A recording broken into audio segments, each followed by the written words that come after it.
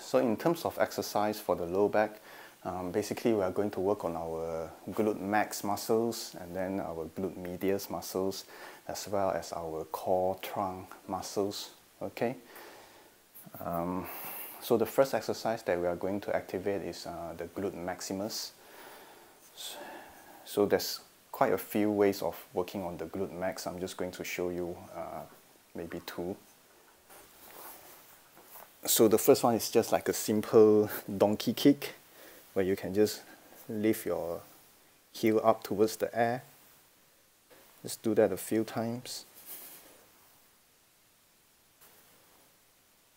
Then the next one, you can cross your leg basically, uh, like an X. So this is how it should look like.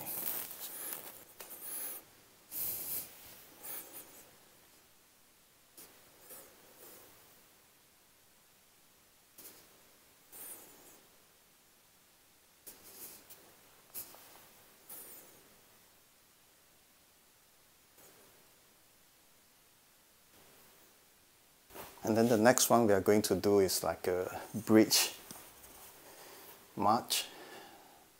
So what we are going to do is just going to lift up our bum like this.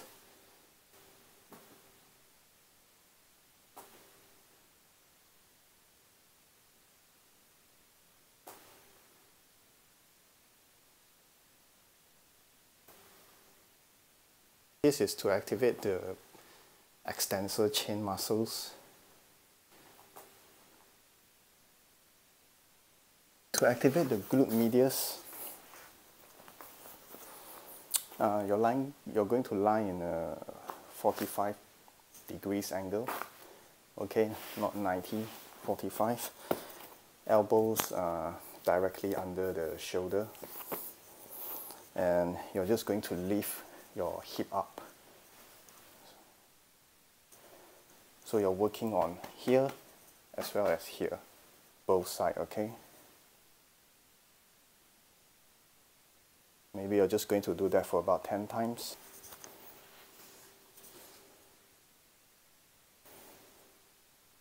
And then the next one we are going to do is uh, for our obliques. So um, cross your legs rather than put them on top of each other. So cross them a little bit. And then you're just going to do this. Fire the chain muscles here and then you're just going to alternate.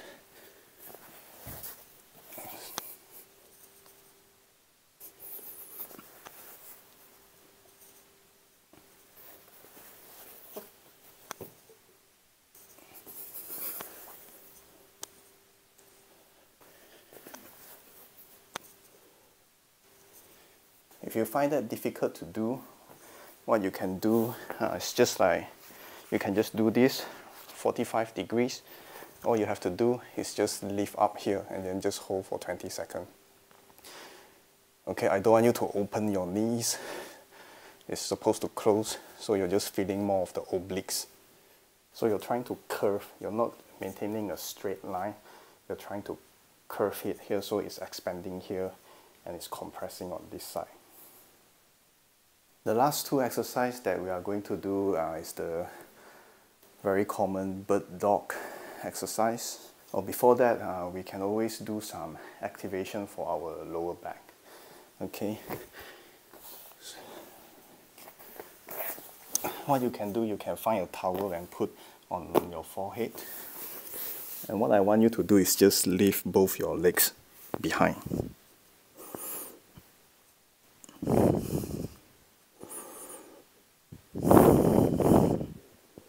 Cross Superman where you're going to raise uh, alternate arms and alternate hands.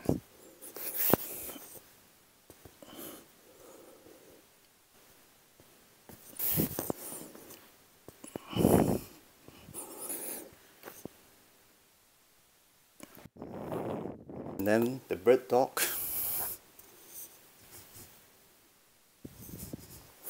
If you want, you can touch your knees and elbow together. You don't need to do that.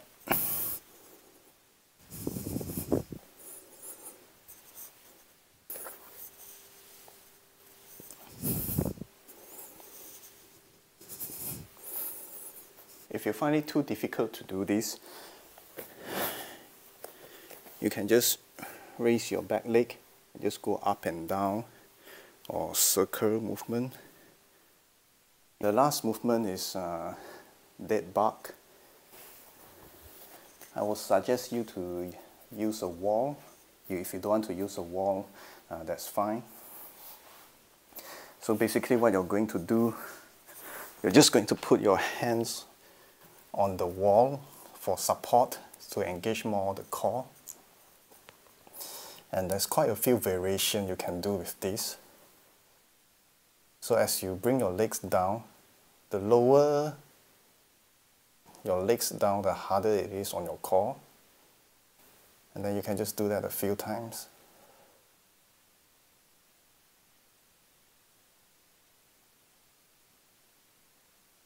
And if you want, you can stay there for a few seconds before coming up. And if you want, you can change into the bicycle movement.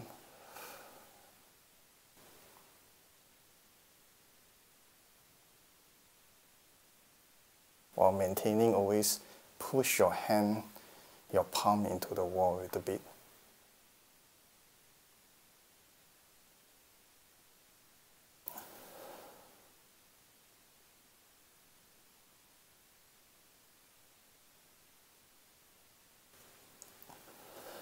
This is just another version of the dead bug. So basically, inhale, and then when you exhale,